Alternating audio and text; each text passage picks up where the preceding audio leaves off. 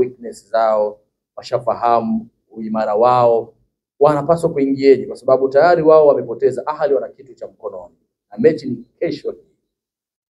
Ah, kumbuka unaposema uh, Simba ame anaifahamu National Ahali kwa maana amecheza nao mechi nyingi, ni kweli, sababu inakuwa ni advantage kwa maana ya timu kucheza na mpinzani takriban mara mbili mara tatu, hata baadhi ya wachezaji inakuwa sio ngumu kuweza kuwakabili baadhi ya wachezaji ambao wanakwenda kukutana nao, lakini pia hivyo hivyo kwa upande wa wapinzani pia inatoa advantage ya kuwapa urahisi wa kuwakabili timu B kwa maana ya Simba Sports Club. Ahali nao pia imekuwa kama mazoea, kwa hiyo wanajua namna nao ya kucheza na Simba kwa maana kwa siku za hivi karibuni, kulingana na kile ambacho wamekuwa wakikutana nacho katika mashindano mbalimbali wanakutana nao.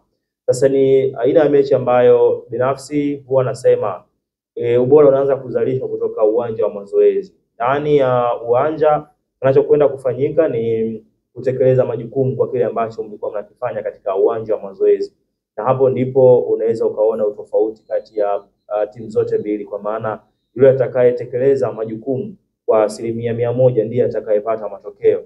Kwa maana ya kama Simba watatekeleza majukumu kwa asilimia mia moja wanaweza kupata matokeo mbele ya Ahali. The same kwa Ahali, kama watatekeleza majukumu kwa asilimia mia moja wanaweza wakapata matokeo, lakini tukirudi katika uhalisia kulingana na matokeo ya kwanza kwa maana ya Benjamin Mkapa, bado Simba wanakwenda wakiwa na uh, wako nyuma kimatokeo, kwa maana ya wao ndio wanaotafuta ushindi, kwa sababu Ahal tayari mpaka sasa hivi kwenye aggregate wanaongoza bao moja kwa sifuri. Maana yake ni nini? Kwanza wana plani ya, ya kupata bao la nyumbani ili kuwapa Simba mlima wa kupanda, lakini pia pili, wana hiyo plani ya kuona kwamba kama wataweza uh, kama wataweza kuzuia bao ambao walilipata ugenini, inaweza ikawa advantage ambayo itawapa wao nafasi ya kusonga mbele. So kwa tafsiri hii Simba ndo wanakwenda akiwa kama timu ya pili ndani ya uwanja, kwa maana ya wao ndio wakiwa wanatafuta kusawazisha bao, lakini pia kuongeza bao ili kuweza kuwapa mlima mrefu Ahali wa kupanda na mwisho wa siku kuondoka na matokeo na kusonga mbele. Kitu kingine ambacho ninakiangalia uh, kwa umakini mkubwa sana ukifuatilia kwa umakini game za hivi karibuni kwa upande wa Simba pamoja na, na Ahal. Simba mechi za hivi karibuni pale Cairo wamekuwa wakizicheza vizuri, lakini changamoto imekuwa wanashindwa kupata matokeo. Walicheza vizuri kwenye hatua ya makundi misimu kadhaa nyuma, wakapoteza kwa bao moja, lakini pia tutakumbuka walicheza vizuri kwenye AFL wakatoka kwa aggregate ya mabao, kwa maana licha ya kupata bao ugenini lakini wakawa wameshindwa wakawa wameshindwa kusonga mbele. So hii inatupa picha kwamba Simba Kailo wana uwezo wa kupambana mbele ya Ahali, wana uwezo wa kupigana, wana uwezo wa kuhakikisha kwamba wanavuja jasho la kutosha kwelikweli, kweli ili kuweza kuwafunga Al Ahly wakiwa nyumbani. Lakini pia tukirejea kwenye misingi sasa ambayo ndio inayokwenda kutofautisha na kuona ubora wa timu zote mbili kwa maana ya mbinu zaidi ndani ya uwanja. Hapa ndipo mechi ilipokalia na hapa ndipo tunaweza tukaona utofauti uko eneo gani. Tukichukua case study ya game ya Benjamin Mkapa, unaweza ukaona utofauti ulikuwa katika maeneo machache. Eneo la kwanza ambalo lilikuwepo ilikuwa ni utofauti wa mbinu kati ya makocha wote wawili, lakini pia eneo la pili ilikuwa ni huyo utekelezaji wa majukumu kwa mchezaji mmoja mmoja, lakini eneo la mwisho ilikuwa uh, utumiaji wa nafasi chache ambazo kila timu imeweza kupata. Hapo ndipo unaweza ukaanza kuzungumza huu mchezo. Kwa maana ya tukianza kwenye mbinu, Simba wali approach game kwa mantiki ya kufanya high pressing, kwa maana tunaweza tukakabia juu ya uwanja na tukashambulia juu ya uwanja na tukawafanya wapinzani wetu wakawa bizi zaidi kuweza kuzuia, lakini Ahal wakaja na game plan ya kuwa na namba kubwa kwenye eneo la kiungo, lakini pia kuwa na namba kubwa kwenye eneo la kuzuia wanapokuwa hawana mpira. Na kuwa na wachezaji takribani watatu wanaokuwa juu ya mstari, kwa maana mechi ya nyumbani walikuwa na Alishahadi Shahadi pamoja na Pestau na Modeste pale mbele, hao ndo walikuwa wanabaki juu ya mstari, lakini the rest wachezaji wengi wa Ahali walikuwa wanacheza nyuma ya mstari, kwa maana ukiangalia uh, nyota kama akina Koka chini ya mstari, lakini pia akina Abdul Monem chini, akina Rabia Humoni akivuka mstari mara kwa mara akina Maalul machache sana walikuwa namuona ana overlap kwenda juu ya uwanja. Mohamed Han kuona pia naye ana overlap machache sana kwenda juu ya uwanja. Sasa ilikuwa ni game plan ya ya away na Ahali mechi nyingi walizocheza Benjamin Mkapa, game plan yao ya away imekuwa ni kucheza hivyo. Sasa Simba wakaweza kufaidika na hiyo approach ya kocha ya kufanya high pressing na wakatengeneza nafasi, wakatengeneza nafasi na wakafika kwenye box la Ahal mara nyingi sana kuliko Ahal walipofika kwenye boksi la Simba. Ishu ikawa ni utofauti wa matumizi ya nafasi. Jambo jingine ambalo nimelizungumza, Simba wakawa na ugonjwa wa kutumia nafasi, kwa maana nafasi chache ambazo walipata walishindwa kuzitumia kwa ufanisi, kwa maana eneo lake la mwisho Kibu Denis, Saidoti Bazon Kiza, Williams Omba Onana, kwa chansi chache ambazo walizipata kwa level ya tournament wakashindwa kutumia na timu ikaweza ika, ika, kupoteza mchezo. Ahal kwa dakika chache na nafasi walioipata ya mapema wakawa wameitumia, lakini pia second half wakabaki kwenye mbinu yao ile ya kuweza kuwa wagumu zaidi nyuma na kuhakikisha kwamba wanalinda bao ambao wameweza kulipata wakaweza kufanikiwa. Sasa nyumbani Ahali hutegemei kuwaona muda mwingi wakiwa na pack pass. Kama Simba wata, watakuja kufanya high pressing kwa mara nyingine tena, kwa maana wakihitaji kupishana na Ahal, Ahal nawaona pia na wao wakihitaji kupishana dhidi ya Simba, na uzuri Ahal wana hiyo quality ya kupishana na Simba na Simba game za away kwa maana dhidi ya Ahali kwa mechi za hivi karibuni takriban mechi mbili wameweza kupishana na, na, na Ahali, lakini tofauti umekuwa kuwatofautisha kwenye matokeo. Kwa hiyo naiona ni mechi ambayo Simba wakiapproach zaidi kuhitaji matokeo, maana yake watakuwa wanataka kukimbia zaidi ndani ya uwanja. Naona nao Ahali wakienda kujibu katika hilo. Sasa ukikutana timu mbili ambazo ndani ya uwanja zote zina uwezo wa kukimbia na kupishana zaidi, kitakachokuwa kimebaki ni makosa madogo madogo, makosa ambayo Simba watayafanya, Ahali namna gani wanaenda kuwaadhibu Simba, lakini makosa ambayo uh, pia Ahali watayafanya namna gani Simba wana- wana uwezo wa kuwaadhibu Ahali. Itakuja kwenye hiyo ishu ya kumwadhibu mpinzani, utarudi kwenye quality ya mchezaji mmoja mmoja. Hapo ndipo unaweza ukaona kwamba nani ambaye anaweza akawa ana uwezo wa kuiamua mechi kiurahisi zaidi. Wanaweza Ahli wakapata chance mbili wakazitumia, wanaweza Simba wakapata chance mbili, lakini inawezekana ikawa ngumu kuweza wao kutumia, ama kwenye hizo chance mbili Simba wakatumia na kuondoka na matokeo. Kwa hiyo itadipendi na nani ambaye atakuwa bora zaidi kuweza kutumia nafasi, na nafikiri binafsi ukiniuliza kwenye kwenye mbinu zaidi, Marcel Koa kwenye hii game tutakwenda kuona umuhimu wa Pestau na Al Shahati pale mbele, sababu ni aina ya game ambayo itakuwa inamtaka sasa yeye atuonyeshe ubora wake wa kushambulia pembeni, na hicho kitu ninakiona kabisa, kwa maana ya El na Pestau watapewa hiyo kazi ya, ya kupandisha mashambulizi zaidi kupitia maeneo ya pembeni, na eneo lao la kiungo nafikiri Aliou Dieng atakuwa anarejea katikati, anaweza akaenda kuongeza kitu kama atakuwa afiti asilimia mia moja, lakini pia kama atakuwa anaendelea kukosekanika, tuliweza kuona katika mchezo wa, wa, wa hapa nyumbani namna ambavyo Koka alicheza kwenye eneo la kiungo, alikuwa na performance nzuri sana, jambo ambalo liliweza kumpa uwanda mpana kocha wa kumwamini yeye na kutengeneza huo strong katika eneo la kiungo. So nafikiri yeah, ni aina ya game ambayo ukitazama kila mmoja binafsi naamini ana uwezo wa kutengeneza nafasi kwenye huu mchezo. Tofauti itakuja hapo kwenye matumizi ya nafasi, lakini Ahly anakwenda akiwa na akiwa favorite kwenye huu mchezo, na naamini kama atastick kwenye mbinu zake zaidi, namuona Ahly akisonga mbele katika haya mashindano, kwa maana ya kwenda katika hatua ya nusu fainali ya ligi ya mabingwa barani Afrika. Na kwenye hizi knockout stage, bahati nzuri amekuwa na bahati nayo. Unajua kuna wakati kwenye mpira quality ni yes inaamua, lakini kuna siku timu bora inaweza ikacheza vizuri, lakini ukomavu wa timu pinzani ukaweza kuisaidia timu kuweza kusonga mbele na kwenda katika hatua ya nusu fainali. So Simba wana, wana hiyo nafasi ya kujaribu uh, kumuuliza maswali magumu Ahly, lakini Ahly wanaweza wakaenda kulingana na ukomavu na hiyo advantage ambayo wako nayo ya, ya bao la ugenini. Okay, sawa. Yeah. Umeelezea kwa kirefu sana um, namna ambavyo Simba wanapaswa kuingia, Ahad wanapaswa kuingia katika mchezo. Uh, umemtaja hapo Aliou Dieng na nimeona kwenye mazoezi yao ya jana pia Aliou Dieng pia amekwepo Yeah. na ni miongoni mwa mche- mchezaji ambaye amekuwa akipostiwa zaidi. Ahali wanajua shida walioipata kumkosa mwamba Aliou Dieng, Yeah, yeah. lakini mara baada ya Aliou Dieng kupostiwa sana kwenye mitandao, naona peji ya Ahali imevamiwa na mashabiki wa Yanga wengi wanasema mwamba huyu hapa, kazi itakwepo katika eneo hilo la kiungo. Hakwepo Aliou Dieng, lakini Yeah. Simba bado alishindwa kufanya ma- makubwa, sababu kama nafasi kweli walizitengeneza, lakini issue ilikuwa ni kupeleka tu mpira kambani. Ali yule pale amerejea, lakini upande ambao pia ulipata kashikashi sana upande wa Ali Malul ambaye alisumbuliwa sana na Kibu Dennis na ye mwenyewe alikiri baadaye kwamba Kibu kweli alionyesha ubora mkubwa. Sasa kuna mapungufu ambayo Simba wanayaona kwa Ahali, Yeah, yeah. wakatumia mfano katika eneo la la la, la, la sub pale Simba, ukiachana na wanaoanza. Anaanza Saido Chama pamoja na Kibu. Katika hiyo mechi iliyopita alianza hivyo.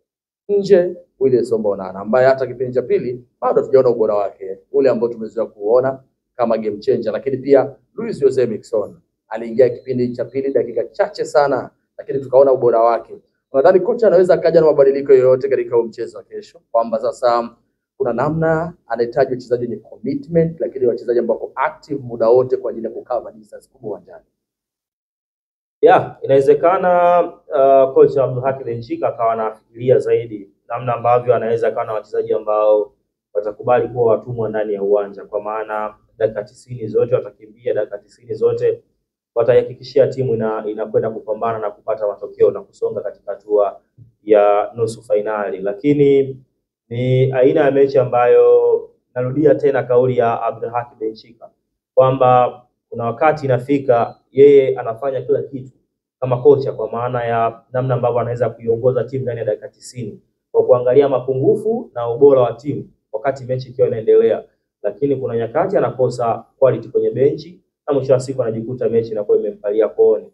Kwa hiyo ukiangalia kwa kikosi cha Simba sitarajii kama kutakuwa na mabadiliko makubwa sana kulinganisha na kikosi kile ambacho kiliweza kuanza kwenye mchezo wa nyumbani, kwa maana ya kulingana na eh, game approach ya mchezo husika, lakini pia kulingana na quality ya wachezaji ambao Simba wako nao.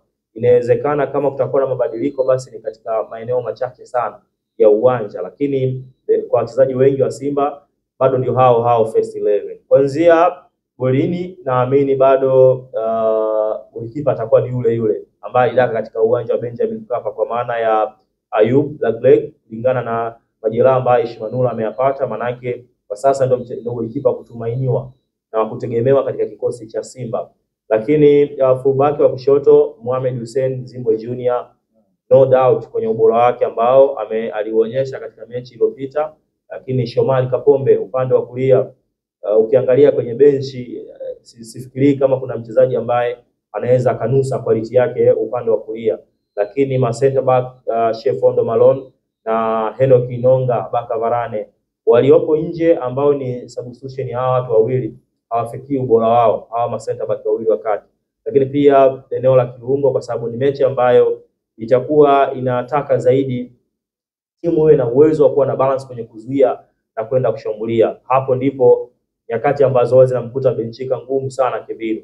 Analazimika kwenda na viungo wawili kwa sababu hana kiungo mmoja ambaye atamhakikishia asilimia mia moja kazi ya ukabaji, kwa maana ya Babakar Sal na Fabrice Luamba Ngoma. Ni aina ya viungo ambao sifa zao zinatofautiana katika maeneo machache sana lakini maeneo mengi wana kuna sehemu ambazo wanafanana kiuchezaji, kwa maana ya uh, Fabrice Luamba Ngoma ni mzuri kwenye kupiga pasi, kwa maana zile forward pass, lakini pia ni mzuri kumove na mpira kwenda mbele. Lakini Babakar Sal pia kwenye kupiga pasi fupi ni mzuri na ana uwezo wa kufungua, anapopiga pasi anatafuta chumba, anaomba mpira tena tena, anapasia sehemu nyingine, na yeye ni mzuri katika ilo eneo la kiungo, kwa maana ana uwezo wa kuhakikishia timu kwamba ikiwa tunamiliki mpira na uwezo wa kuchukua mpira na kuhamisha mpira kwa maana ya kudominate mpira kwenye eneo la kiungo. So tofauti ama sifa pekee ambayo hawa wote viungo wawili wamenyimwa, wote sio makatili sana kwenye kukaba, kwa maana hawana wa ukatili kwa kiasi kubwa kwenye kukaba.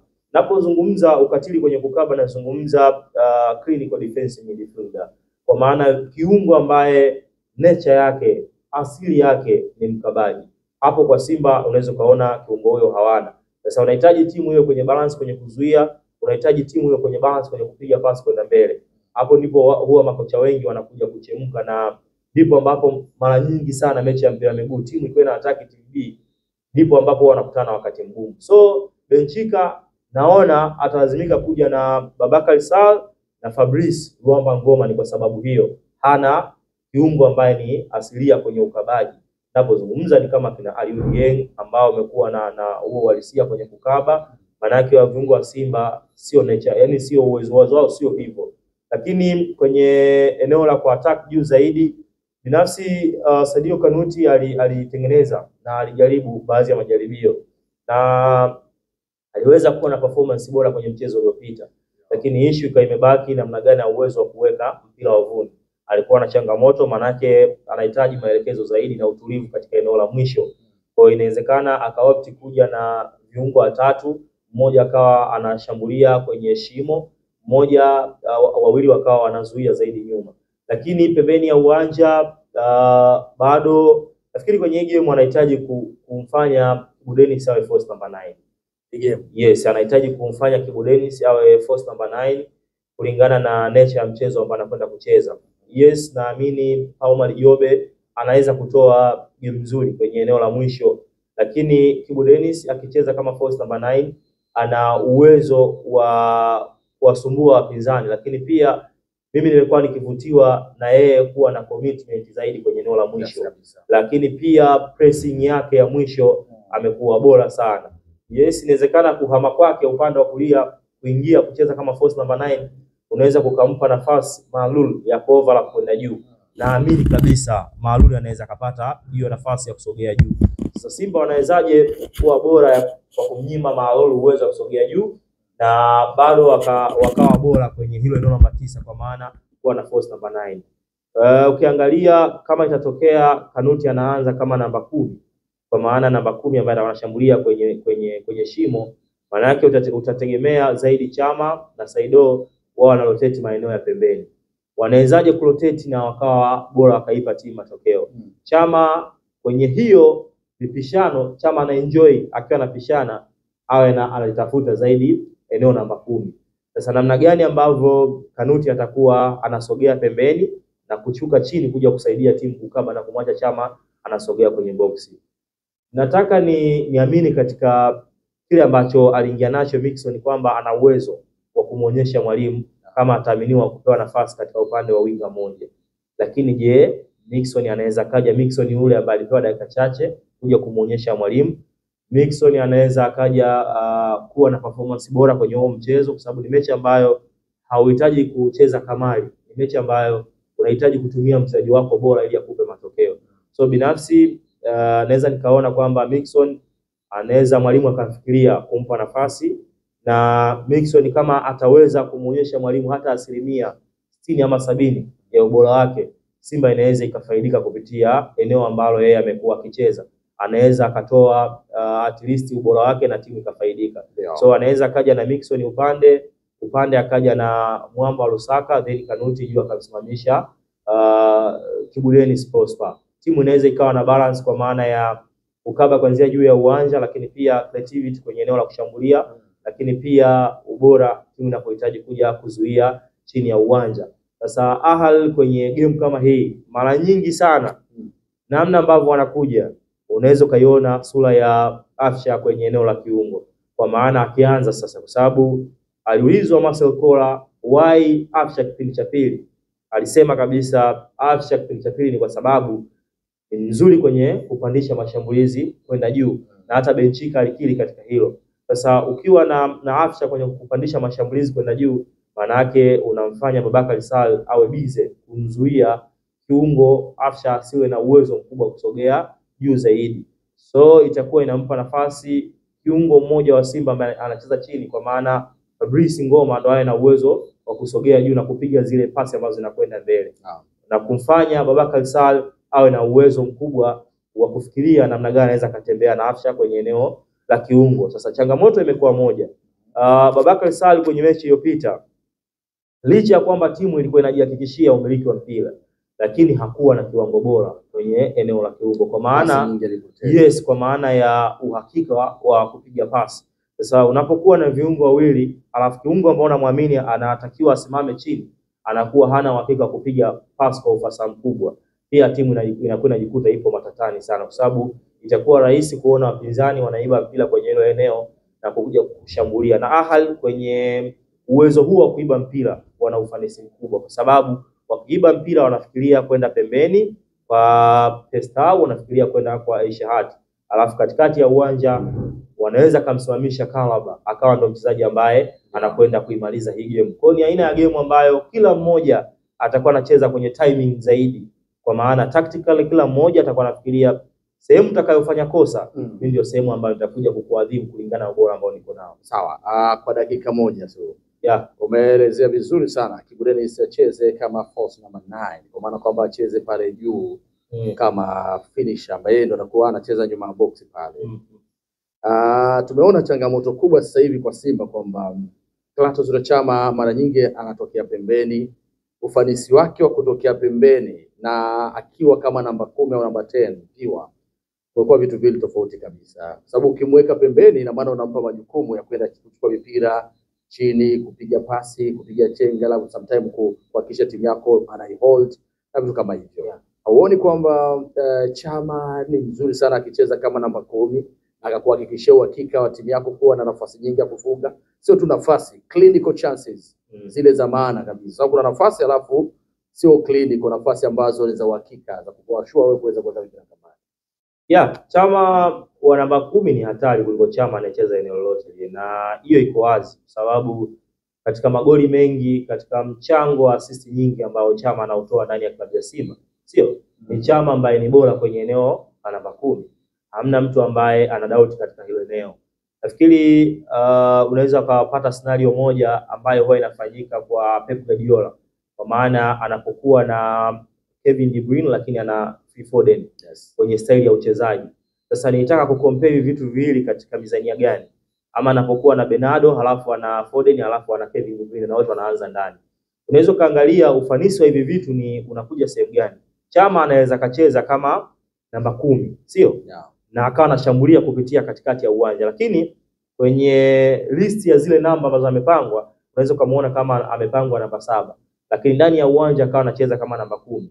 Lakini kwenye hizo hizo namba ukamuona Fabrice Ngoma amepangwa kama namba nane, lakini kwenye uchezaji anacheza double pivot na Babakar Sal, na kwenye hilo eneo namba nane mtu pekee ambaye akawa anatimiza majukumu hayo akawa ni Sadio Kanuti. Kwa nini awe ni Sadio Kanuti? Kwa sababu Kanuti shaonekana kwenye zile namba kama namba nane, maana yake atalazimika kukaba kwenye staili ya kukaba. Kiungo namba nane ana staili mbili za kukaba. Yeah. Inapotokea mchezaji anayetoka pembeni ana asili ya kushambulia kwenye eneo la namba kumi, sehemu ya kwanza ambayo kiungo namba nane anatakiwa kufanya, inapotokea winga anayetoka pembeni anacheza namba kumi, maana yake ni kwamba wewe namba nane unatakiwa kutanua upande ambao ametoka huyo namba, namba winga wako ambaye ameingia kwenye eneo namba kumi. Chukua mfano mdogo mwingine, wakati uh, Sadio Mane anacheza Liverpool, wakati uh, Jordan Henderson ana, ana, anasogea upande Mane anaocheza, Mane akiwa anaingia eneo namba kumi, Hendo alikuwa anasogea upande ambao Mane anacheza. The same kwa kwa kwa issue ya Sadio Kanuti na Chama. Chama anaweza akapangwa kama namba saba, lakini timu inaposhambulia yeye atakuwa anashambulia kama namba kumi. Alafu Sadio Kanuti atakuwa anavutika upande wa kulia kwa ajili ya kufanya sasa, kama atakuwa ameanza upande anaocheza Maalul, ili Maalul asi overlap zaidi, maanake anatakiwa akutane na Kanuti inapotokea Chama ameingia kwenye box, ili Maalul asiwe na uwezo mkubwa kwa overlap. Na inapotokea timu upande wa kulia Kapombe ame kuja juu, maanake anapeleka pressure kwa Maalul, inampa option Kanuti ya kusogea kwenye boksi kuongeza nguvu kwenye kushambulia. Mara kadhaa Kanuti amekuwa akifunga akiwa kwenye box, mipira ya vichwa tumeona amefunga, lakini mipira inadondoka kama second ball tumeona amefunga. Kwa inapotokea Kanuti anaongezeka kwenye box, maanake Simba wanakuwa wanakaa kuwa na zaidi ya wachezaji watatu mpaka wanne kwenye box, maanake inakuwa ni faida kubwa kwa timu ambayo inataka kushambulia zaidi, na mwisho wa siku wanakuwa wanapata matokeo. So binafsi Yeah. Chama kwenye eneo namba kumi hamna mtu ambaye anakuwa na doubt na anakuwa bora zaidi na ana uwezo wa kutengeneza chasi nyingi. Kwenye possible lineup yako Yeah. uh, unaweza uka, uka, uka, uka mention uh, William Somba Onana au Luis Jose Mixon uh, kama first priority, alafu uka, uka, uka, uka, ukaanza na Sadio, uh, Saidoni Mazokiza akatokea sana. Ake kwenye mechi za hivi karibuni tumeona atakuwa offer hiyo energy, lakini bado anakosa ile accuracy katika usahihi wa pasi zake, lakini pia hata timu inaposhambulia pia ye mwenyewe kuna muda amekuwa hana ile pumzi ya kumaliza au ile wanasema uh, end product yake inakuwa zero. Anaweza kufanya kazi kubwa afu end product ikawa zero. Unajua hata Benchika anakutana na wakati mgumu. Kuna wakati uh, Dave Yonge kwa kocha anabeba majukumu ya Benchika kwamba una Saido, unaonana alafu una Mixon na unatamani mmoja wapo aanze kwenye hii game unaweza kujikuta uko katika wakati mgumu sana, japokuwa yeye kocha ndo anafahamu nani ambaye amemwonyesha kitu cha ziada katika uwanja wa mazoezi. Kwa sababu gani nazungumza hivyo? Uh, Onana mara kadhaa anaaminiwa, anapewa nafasi, lakini bado anaonekana anashindwa kuwa na, na kuna wakati anashindwa kuwa na ubora mkubwa. Nafikiri kutoa game dhidi ya Wydad ambaye alikuwa na performance ya juu sana, uh, baadaye akakutana na majeraha, amerejea kwenye timu, alionekana baada ya kurejea kwenye timu ana impact kubwa, lakini kuna muda anakuwa ni mchezaji ambaye wenzake wanakwenda mbele, yeye anafikiria kupunguza watu watatu mpaka wanne ili aende kwenye box. Sio jambo ambalo kocha anafikiri mara nyingi sana, huwa anaona linampa wakati mgumu kumpa nafasi ya kuanza. Lakini pia uh, Saido kwenye hilo eneo amekuwa bora, anacheza vizuri. Uh, ishu kubwa imekuwa ni kama vile anakuwa yuko slow sana kwa sababu ya age yake, lakini pia kwenye boxi timu ikiwa ina speed, yeye anaonekana ana react yuko slow sana. Kwa nafikiri anaweza akaja na option ya kuja na Onana ama Luis Mixon kama Mixon atampa asilimia sitini, narudia tena, kama Mixon atampa asilimia sitini, inaweza ikawa bora kuja na Mixon kuliko kuja na Onana pamoja na Saido. Lakini hapo hapo Benchika anakuwa anajiuliza, je, Mixon huyu atanipa hizo sitini? Anaposhindwa kumpa hizo sitini, anampa wakati mgumu na kufanya kocha amwamini Saido kuja naye kwenye mechi. Sawa bwana, huyo ni Emmanuel the international playmaker, amekupa uchambuzi wa Simba, na tukirejea mara baada ya